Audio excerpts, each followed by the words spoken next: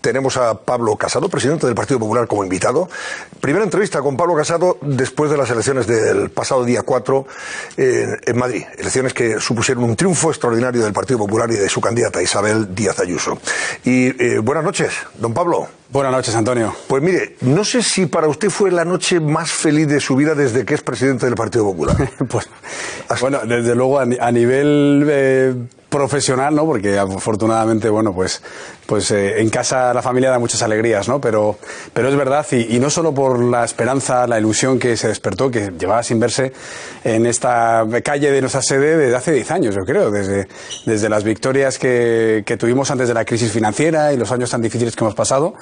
Y creo sobre todo que, que para mí personalmente ha sido eh, una liberación porque España empezó a entender nuestra estrategia, que era que teníamos que unirnos en torno al Partido Popular para poder derrotar a la izquierda. Y eso es lo que mm, ha merecido el voto a Isabel Díaz Ayuso, aparte de una gestión estupenda y de una candidatura valiente y pegada a los problemas de la calle, eh, pero también que la gente quiere alternativa, quiere cambio en España y eso ha empezado ya. Ahora, viéndole a usted feliz como estaba, junto a Isabel Díaz Ayuso, a José Luis Martínez Almeida, en fin, los que acompañaban en, el, en ese balcón icónico de, la sede del PP, no sé si usted pensó, dice, ¿y para qué vamos a vender la sede?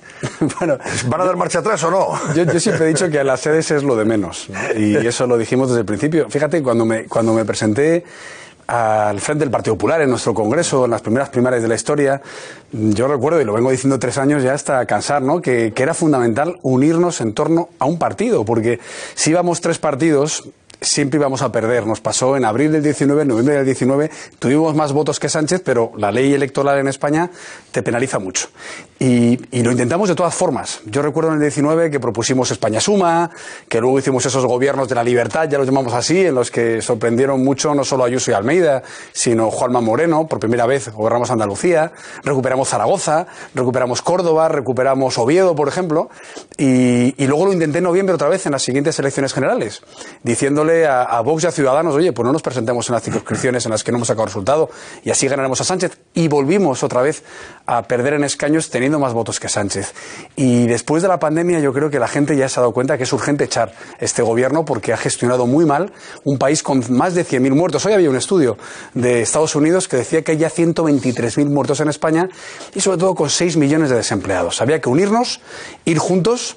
Si los partidos no quisieron hacerlo, digamos, por las siglas o por la dirigencia, lo hemos pedido hacer por la base y eso ha funcionado y estamos muy contentos. ¿Qué conclusiones sacan ustedes en el partido después de unos resultados en los que se ha visto que eh, clases medias, bajas, eh, altas han votado por igual en todos los barrios, municipios de, Madrid, que ha ganado Isabel en todas las, en todos los distritos de la capital, incluido Vallecas, como se pone siempre el énfasis en un, barrio, ¿verdad?, que siempre está muy asociado a, a la izquierda, incluso a Pablo Iglesias, en todos los municipios, incluso el cinturón rojo de la comunidad. ¿Qué conclusiones sacan ustedes? ¿Por qué se produce ese, ese efecto? Bueno, lo primero yo creo que, que, Isabel ha pisado calle. Y, Sánchez es que no puede salir a la calle. O sea, cada vez que sale le, le, pitan, pero, pero no por nada, sino porque, porque es que no ha estado cuando más lo necesitaba Madrid. Aquí ha estado eh, Almeida haciendo frente a Filomena y ni ha pisado. Ha estado Ayuso abriendo el IFEMA, un hospital de pandemias y el Zendal, y no solo no ha pisado, sino que lo han boicoteado. Han tenido que traer material de China porque el gobierno era incapaz de hacerlo y nos mentía con las mascarillas y con las EPIs y con los test y nos decretó un estado de alarma. Yo recuerdo que, hasta lo llevé yo en el Congreso eh, frente al ministro Illa que mentía contra Madrid para hacer una campaña electoral en Cataluña. Y al final la gente no es tonta. Y luego hay una, hay una fórmula de, libertad que, que Isabel y yo llevamos trabajando juntos 15 años y, y, conocemos muy bien Madrid porque hemos empezado en el 2004 pateándonos los 179 municipios de Madrid. Y es verdad que Madrid, como en la mayoría del territorio de España, eh, a la gente lo que no quiere es que nos digan lo que, lo que el gobierno eh, pretendía aquí eh, a nivel nacional. Y es, oiga, usted le voy a dar una ayudita, pero usted no abre el bar. O usted no puede eh, abrir el taller. Y una vez que pasó la primera oleada, que fue evidentemente pues terrible y, se tardó en dar la alarma y hubo que tomar medidas drásticas en todo el mundo, cuando las autoridades sanitarias, que en Madrid sí que hay un comité de expertos, como lo hay en Andalucía, como lo ha habido en Galicia, decían, oye, ahora sí se puede, ahora hay una incidencia de contagio hay una capacidad hospitalaria en la que podemos abrir, déjenos hacerlo con plena responsabilidad. Y eso de decir a, los madrileños, oiga, ustedes lo que quieren es trabajar y les voy a dejar trabajar, en vez de andar intentando comprarles con que luego no llegan, como estamos viendo con estos hachazos que quieren meternos, creo que también ha resultado. Se conoce Madrid, conocemos la calle, sabíamos cuáles eran los problemas que vivía esta comunidad autónoma y eso lo vamos ahora a extrapolar a toda España. ¿Usted cree que los resultados de Madrid son extrapolables hasta el extremo o punto de que si ahora mismo se convocaron unas elecciones ¿Usted, Casado, ganaría las elecciones? ¿Sería el presidente del gobierno? Los datos que tenemos es que ya es así. De hecho, ahora mismo tienen ustedes encuestas. Ahora están por encima del PSOE semana, nacional. Lo cual es normal cuando hace ya una semana estábamos en dos encuestas publicadas solo a un punto y medio. Pero por lo que acabo de decir es, es, complejo de explicar. Pero cuando tú sois tres partidos en el centro derecha, Ciudadanos, PP y Vox, y vas contra dos partidos que eran Podemos y PSOE eh, te, merma muchísimo el número de votos. Ahora ha pasado lo contrario. Ahora Ciudadanos ha perdido la representación en Madrid, es decir, que queda Vox y queda un Partido Popular muy fortalecido, porque eh, hay que explicar que el PP se ha hecho con todos los escaños de Ciudadanos y con bastantes del PSOE. Eso era, por eso yo insistía en que no podía haber un tabique. Eso era una PSOE y Ciudadanos. ¿Ha habido, ha habido voto del PSOE que también ha, ido al Partido Popular? voto del PSOE, porque el Partido Socialista es un partido que muchos no están contentos con lo que está haciendo Sánchez. Hoy mismo han expedientado a Leguina, expresidente de la Comunidad de Madrid, Nicolás Redondo, que es un, héroe de la libertad en País Vasco. ¿Por qué? Porque el Partido Socialista clásico, el de Felipe, el de Rubalcaba, el de Leguina, el de Redondo, no está de acuerdo con que Sánchez pacte con Bildu, con que eh, pacte con los independentistas, que haya pactado con Podemos, que esté defendiendo a Venezuela, que nos meta estos hachazos fiscales. Entonces, hay un votante socialista que dice, oye, ¿el Partido Popular crea empleo? Sí. ¿Defiende las pensiones? Sí. ¿Defiende la seguridad ciudadana? También. ¿Defiende la libertad educativa? Sí. Bueno, pues aquí estamos. Y lo mismo puedo decir con los votantes de otros partidos de derecha. Oiga, nosotros defendemos la unidad nacional, sí. La regeneración, sí. Defendemos que podamos ir tranquilos por la calle sin que, como dice el Podemos, aquí en Madrid las mujeres temen. También. Entonces, esa apelación humilde como decía el otro día Isabel, eh, bueno, ese voto prestado en momentos complejos para España, en la que hay que decir unamos no para derrotar a un mal gobierno, eso se está produciendo. Y como decía, hace ya unas semanas decían que estábamos en empate técnico y ahora ya les hemos superado. También en el Ayuntamiento de Madrid. Eh, yo conocía una encuesta también de la ciudad de Madrid. José Luis ya está en la mayoría absoluta, al borde de la mayoría absoluta. Juanma Moreno, en tu tierra, en Andalucía, que era impensable. 40 años de socialismo y estamos ya al borde de volver a gobernar con una mayoría sin depender de ningún otro partido. Que no de Galicia. Es decir, de Galicia o de Murcia o de Castilla y León, porque todo ha empezado con todo ha empezado con esa puñalada por la espalda de las mociones de censura. Sánchez tiene miedo a las urnas y, y llegó con una moción de censura con 84 escaños frente a un gobierno buen gobierno como era el del Partido Popular y luego en Murcia, Castilla, León y Madrid querían tumbar al Partido Popular por la puerta de atrás. Y al final, pues creo que hemos tenido una reacción y hemos ido de la moción de Murcia a la emoción de Madrid que vimos el otro día en esta noche. Le, preguntaba, ¿no tendrá eh, la tentación eh, Juanma Moreno de convocar elecciones, de adelantar las elecciones en Andalucía? La encuesta es verdad que de tres ayer comentábamos aquí que le daba una mayoría absoluta, pero vamos, eso no es justificación ¿no? para convocar elecciones. Bueno, él ha dicho, ya que el acuerdo de gobierno, a diferencia de otras comunidades autónomas, es sólido y que él va a intentar culminar la legislatura. Ahora, de todas formas, señor Casado, eh, usted ha pedido el debate de la nación, le ha pedido a Sánchez, vamos a hacer un debate sobre el Estado de la Nación y no un adelanto electoral, una de, las generales, ojo, como por ejemplo ha pedido a Bascal.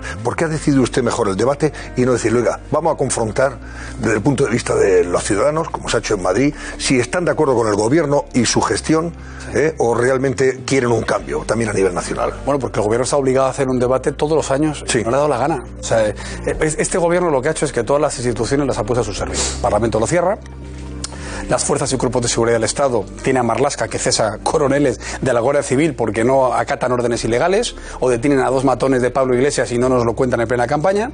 El BOE lo utilizan para insultar a la oposición, el CIS para pagar encuestas eh, electorales y hasta los jueces los han querido tomar por asalto y menos mal que no fuimos a Bruselas para evitarlo y para exigir que los jueces elijan a los jueces como pasa en los países serios. Bien, pues eso pasa con el Parlamento nos ha sacado completamente. Si, estamos en un estado de alarma, Antonio, que dura nueve meses. Entonces, claro, lo que nosotros pedimos es que, que dé cuentas, que dé cuentas de lo que está pasando, que dé cuentas de lo que ha pasado con los impuestos.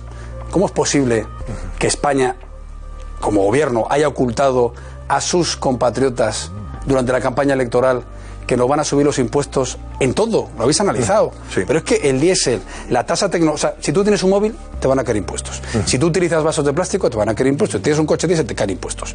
Que tienes una casa y por desgracia eh, la quieres recibir de tus padres que han fallecido, tienes que pagar el impuesto de la muerte. Si tienes eh, un patrimonio que ya has pagado dinero por él, también tienes que pagarlo.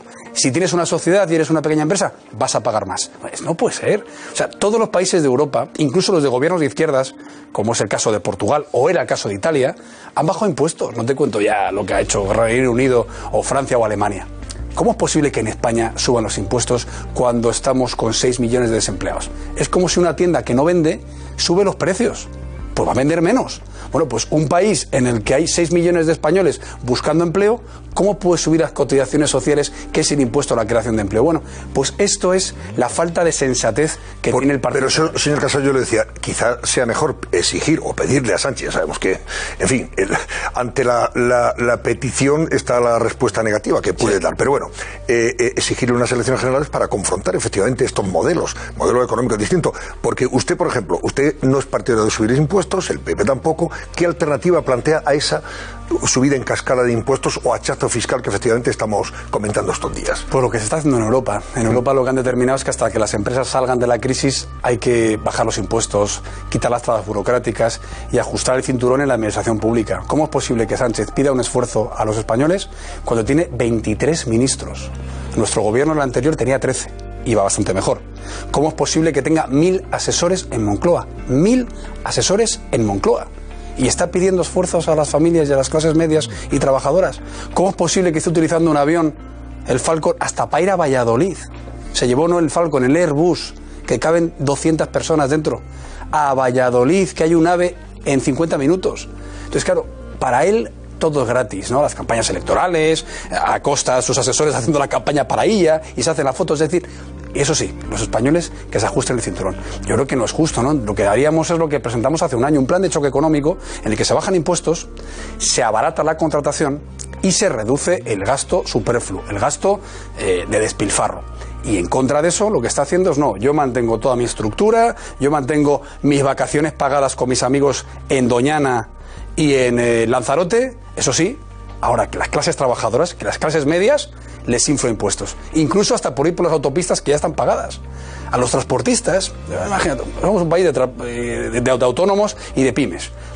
Que hemos sufrido con el turismo, con la hostelería y también mucho con el comercio. Bueno, pues resulta que al turismo y al comercio le metes un impuesto en el diésel, en las autopistas, en la matriculación y en los seguros. Oiga, ¿de qué se quiere? ¿Se quiere cargar la economía productiva? Parece que lo hacen adrede. ¿Cuántos ministerios eliminaría usted de los que ahora tiene Sánchez? Por la mitad. La mitad.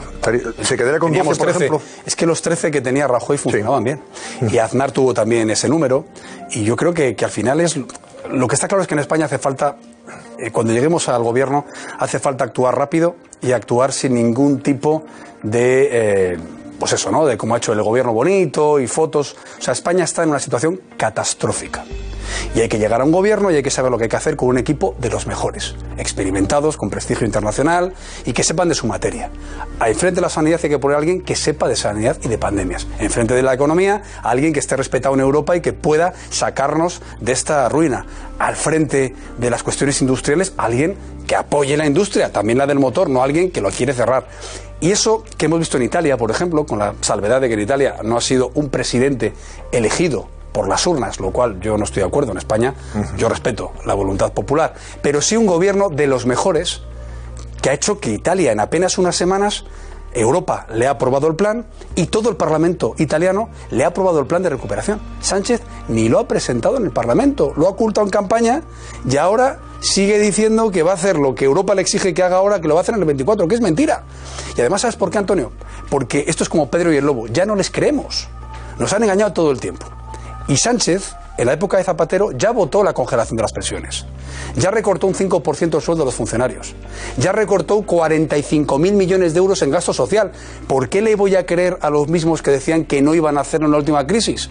Pues claro que lo van a hacer. Yo lo que estoy diciendo es que antes de que eso pase, que al menos haga caso de lo que le estamos diciendo. Y es que para no tener que recortar hay que competir, crear empleo, con más gente trabajando, pagarán más impuestos, aunque sean más bajos, y así tendremos mejor sanidad y mejores pensiones.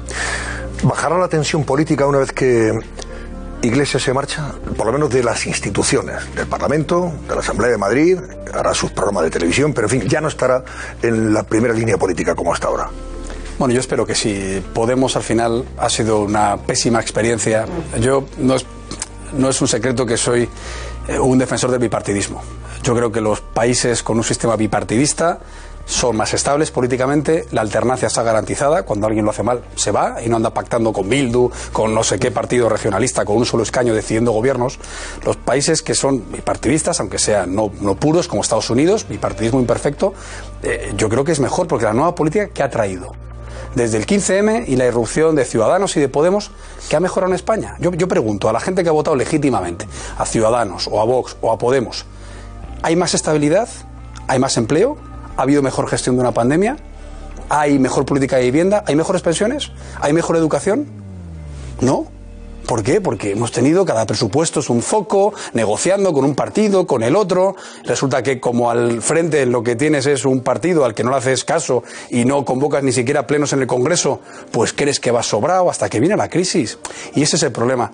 Yo creo que ahora sin iglesias, pues probablemente la, la política se radicalice más o menos, no lo sé, porque Sánchez en el fondo es muy parecido a Iglesias. Vuelvo a Leguina, a Felipe González o a Nicolás Redondo. Ese es el socialismo clásico. Sánchez es lo que ha roto.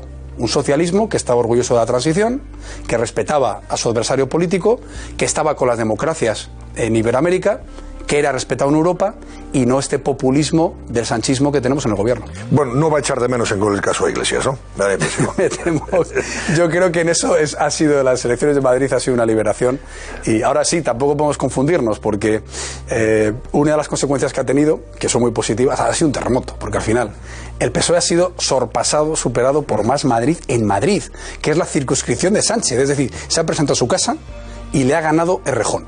Pero luego eso hay que recordar que le pasó en Galicia, que el BNG le sorpasó hace apenas unos meses, y le pasó en País Vasco, que le sorpasó ni más ni menos que Bildu.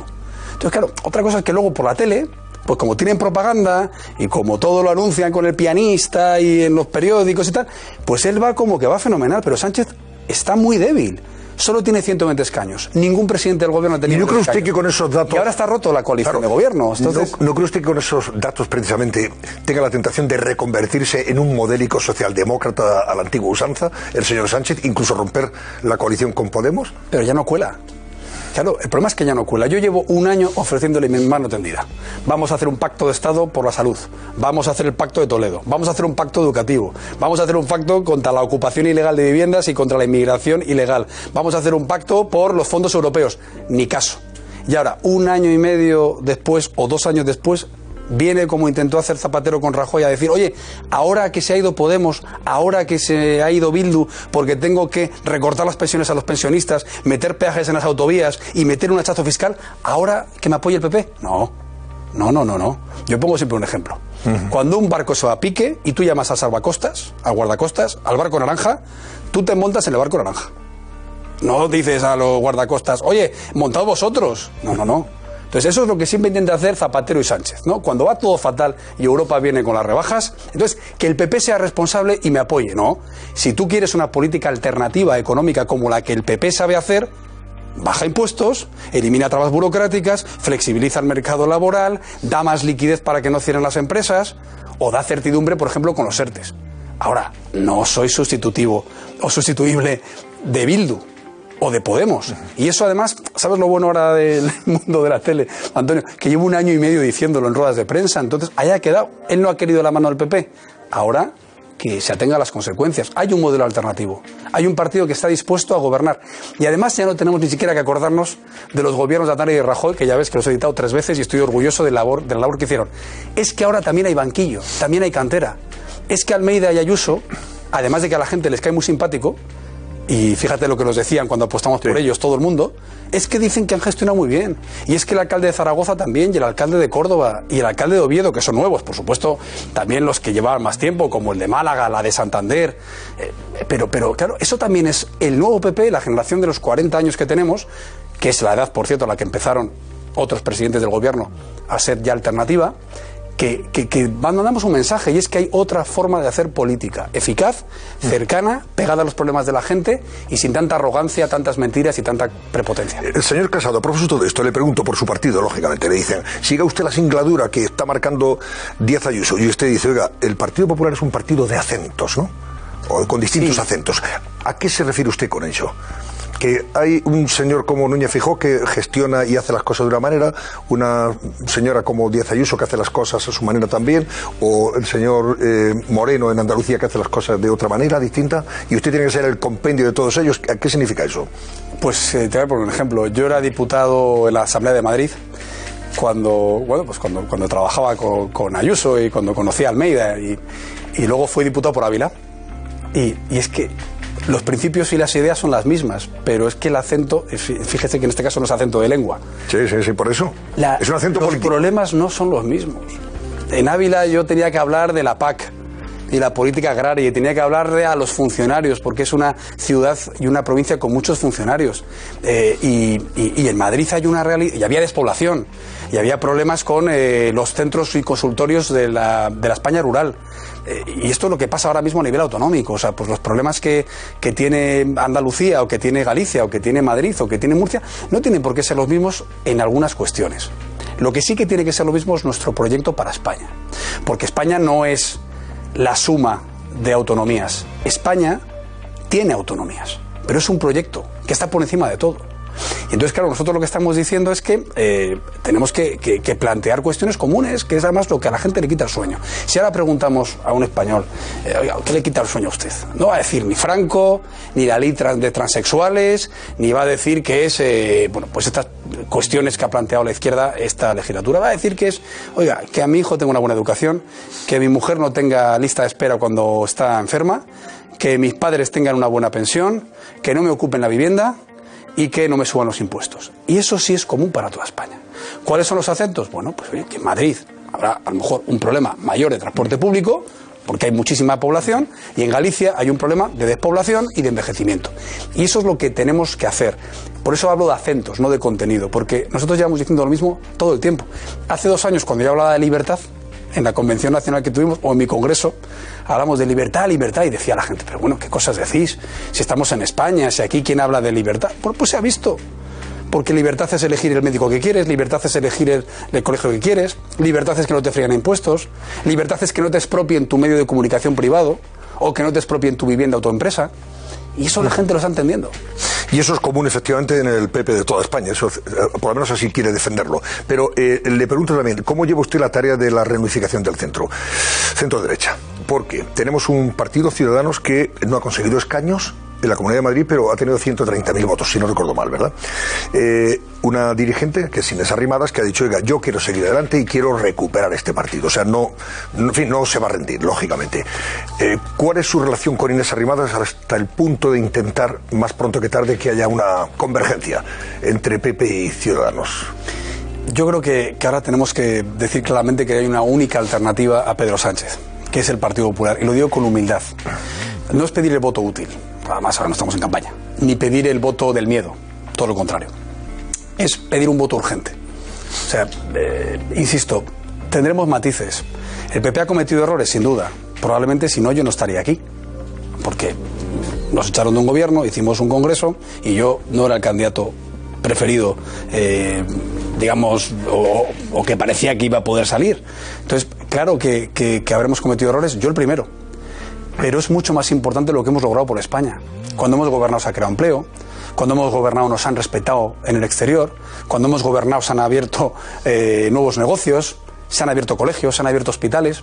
Y yo creo que en un momento como el que estamos viviendo, con 120.000 muertos, con un gobierno que ni siquiera ha reconocido la cifra de muertos, y con dos millones de familias haciendo colas del hambre hoy mismo, dos millones de familias haciendo la cola en Cáritas, o la cola en parroquias, o la cola en ONGs, esto no está para bromas. Y luego habrá matices. Y luego alguien dirá, oye, no, pues es que eh, en este tema de la inmigración, pues tenéis que dar aún más caña.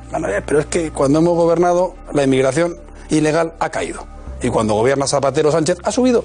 Entonces, habrá matices, o habrá matices en cuanto a eh, la, política eh, sanitaria. Hay quien pensará que habrá que abrir más hospitales o menos. Da igual, lo importante yo creo que, que representamos a todo el centro derecha e incluso a los socialdemócratas avergonzados por Sánchez, como ha pasado en Madrid, o como pasó con las grandes mayorías absolutas del Partido Popular en el 90, no, perdón, en el 2000 y en el 2011, el PP recibió más de un millón de votos socialistas, de personas que estaban en el paro, de personas que tenían a los hijos emigrados, de personas que tenían a su padre con la pensión congelada y dijeron, oiga, mire, pues, pues a mí ya no me importa lo que me cuentan de Franco, tal, pero que, es que, Antonio, hemos vivido esta campaña en Madrid hablándonos del fascismo con una candidata de 42 años y con un presidente del Partido Popular de 40 años. ¿Pero qué me cuenta usted de Franco?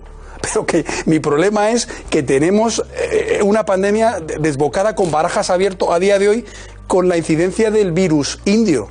La, cepa del virus indio pidiendo a Ayuso que se cierre barajas o se controle y el gobierno eh, cesando a Gabilondo, por cierto, le, deseo una pronta recuperación, que está ingresado, o cesando al señor Franco, eso sí, a cambio de ponerlo de secretario de Estado, porque todo esto tiene truco. Yo creo que, que la política seria se va a volver a llevar y la gente está harta de experimentos, de crispación política y quiere soluciones. Y la gente que sabe aportar soluciones son los partidos que ya han gestionado. Le pregunto también por vos, porque, bueno, vos ahora mismo es fuerza eh, eh, no tan determinante como en otras ocasiones, pero en fin, si Isabel Díaz Ayuso quiere un gobierno estable, va a tener que contar con vos, evidentemente, eh, para tener esa mayoría para sacar adelante los presupuestos, porque no lo imaginamos que le vayan a apoyar en el PSOE o más Madrid, ¿no? Entonces le pregunto, ¿su relación con Santiago Abascal ha mejorado desde la moción de censura? ¿Tiene usted algún contacto con él? ¿Cómo se lleva? Yo creo que el, tema personal en, política, bueno, pues eh, eh, cuando ha tenido, la última vez que me he puesto en contacto con él ha sido cuando su madre y su hermana eh, sufrieron un ataque al comercio que tienen en el País Vasco. Y, y, la moción de censura yo creo que se explica con lo que ha pasado antes de ayer en Madrid. Repito, el PP ha duplicado o ha más que duplicado su resultado y Vox ha subido un escaño. ¿De dónde salen los 35 escaños que ha recuperado el PP? De Ciudadanos y del PSOE. Y esto no sé si será muy bonito de escuchar o no, porque habrá gente que pensará que es que en Madrid hemos hecho un discurso pata negra y sin complejos y tal. Oye, que, me lo digan a mí, que me han estado toda la vida, mi vida política, diciendo que yo era supuestamente muy radical y tal, y ahora de repente dicen lo contrario. Oiga, esto no va ni de ser radical ni de ser cobarde. Esto va de saber gestionar y de tener unas ideas claras como las que tiene el Partido Popular. Y en el caso de Madrid se ha visto. La gente ha votado al PP, ha votado a Ayuso por cuestiones como, por ejemplo, oiga, quiero seguridad, quiero mi bar abierto, quiero un buen colegio, quiero un hospital. Y eso es una transversalidad. Y eso no es renunciar a dar la batalla de las ideas, todo lo contrario. Porque crear un hospital es una idea del bienestar social que quieres para tu tierra. Bajar impuestos es una idea de que el dinero está mejor en el bolsillo del contribuyente que en el Falcon de Sánchez. La educación concertada es una idea. Oiga, que las familias elijan la educación que quieran. Entonces, yo creo que esas cuestiones es compatible el pragmatismo en la gestión con la ideología que tiene consecuencias positivas en el día a día de las personas. Y, es a lo que quiero ir. En la moción de censura yo dejé muy claro que el PP tenía que abrirse, abrirse de capa, ser la plaza mayor de España, tener puerta ancha. Y eso no es moverse de sitio. Eso es plantarse donde estás, pero abrir las ramas, cobijar a más gente. Eso se interpretó como intentar escorar o, eh, demonizar a un partido y no. yo dejé muy claro que mi, modelo contrapuesto es Sánchez, mi modelo contrapuesto es Podemos. Pero eh, yo tengo mis propias ideas y yo tengo un partido que es un partido que está en la centralidad. Ya no es que sea de centro, que lo lleva siendo desde que se fundó por estatutos. La centralidad es estar donde están los problemas reales de la gente. Y somos europeístas y creemos en Estado de las autonomías. Si no fuera por Ayuso, por Fijó, por Moreno, por Mañuco, por Miras, Sánchez todavía tendría más poder. Y creemos en que hay que resolver las cuestiones de la vida de la gente sin preguntarles de dónde vienen o a dónde quieren ir o en qué piensan o en qué sueñan o a quién rezan. Y eso se ha visto en Madrid, se ha visto en Galicia y estoy convencido que se verá a nivel nacional cuando ¿Y cree usted que van a mejorar a partir de ahora las relaciones? Ya no hablo de la reunificación, de la derecha, en fin, no. Pero pueden mejorar las relaciones, eh, ya no sé si las personales, pero evidentemente las políticas entre el PP y vos, que en definitiva pueden estar condenados a entenderse o deben estar condenados a entenderse si las circunstancias, en fin, así lo señalan en las elecciones generales?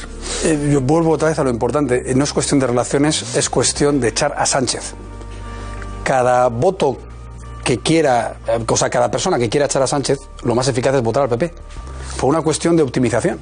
Entonces, eh, y, luego está muy bien, y luego habrá que dialogar con todos, y luego habrá que eh, aprobar leyes, pero para echar a Sánchez hay que optimizar el voto. Y lo veremos en las elecciones generales. Hay provincias, como la mía, que tiene tres escaños, que para sacar dos escaños tienes que duplicar a la siguiente fuerza. Entonces, claro, cuando la gente reparte el voto entre PP, entre Vox y entre Ciudadanos, el segundo escaño cae en manos de Podemos o en manos del Partido Socialista, pero eh, yo, creo que en este caso eh, hay que ir a lo importante. La gente tiene urgencia para echar a Sánchez. Estamos eh, de acuerdo en que hay una alternativa, que gobierna en Europa, que gobierna seis autonomías, en 2.800 ayuntamientos, que ha gobernado España 15 años. Defendemos lo esencial, una España unida, una España segura, una España próspera, una España en libertad. Bueno, pues pedimos ese voto de confianza. Y, y cuando sean las elecciones, repito, Sánchez lo hará cuando le venga mejor. Pero sabiendo que el PP ya está por encima en intención de voto, estoy convencido de que muchos votantes que son de centro derecha o que son constitucionalistas, aunque hayan votado a la izquierda, vendrán al PP. Eso no lo dirá el CIS de Tezano, me imagino, que están ustedes por delante, me temo. ya vemos cómo ha acertado, vamos, es una vergüenza. Le hemos denunciado. Por cierto, por cierto, le hemos denunciado por prevaricación. Bueno, porque el CIS ya no puede caer más bajo de cómo está. Tiene, tiene una denuncia por prevaricación y por malversación de fondos públicos, igual que hemos llevado al Constitucional el uso del BOE, igual que hemos recurrido eh, a Europa todas estas cuestiones que están haciendo con la justicia, con la fiscalía, con la educación concertada, con el Ministerio de la Verdad. Hasta Estados Unidos se ha quejado de que España señale a periodistas y no haya dado información veraz durante la pandemia. Se puede caer más bajo que durante una terrible pandemia que ha causado 100.000 muertes puedas estar ocultando a los familiares eh, la causa de la muerte de tu ser querido que no has podido ni despedirlo. Se puede caer más bajo que decirle a los médicos las mascarillas no son necesarias y que se tengan que ir con gafas de buceo y con bolsas de basura a salvar vidas? ¿Se puede caer más bajo, decir que había un comité de expertos y luego que era inventado? Bueno, pues eso lo ha hecho Sánchez. Espero que no se nos olvide. Pues una, cosa más, señor Casado. Me lo ha puesto, en fin, el, toro en suerte, como se dice vulgarmente, a propósito de la pandemia. El próximo domingo decae el estado de alarma, decae el toque de queda. ¿Y qué va a pasar? Porque el gobierno no ha hecho nada de lo que desde la oposición le han pedido ustedes. Que se reformen aquellas leyes orgánicas que ya están en vigor, ley de la salud pública, si no recuerdo mal, seguridad nacional, etcétera, etcétera, para que los eh, gobiernos autonómicos tengan, en fin, desde el punto de vista legal, eh, cobertura con el fin de tomar sus decisiones. Ahora van a estar desnudos. ¿Qué va a pasar? Si decae el estado de alarma y el toque de queda, vamos a estar recurriendo a los tribunales todos los días para ver si cerramos aquí, rebajamos allá las restricciones, etcétera, etcétera. Pues llevamos, ¿Qué, vamos, ¿Qué va a pasar? Llevamos un año diciendo que había que hacer una ley de pandemias.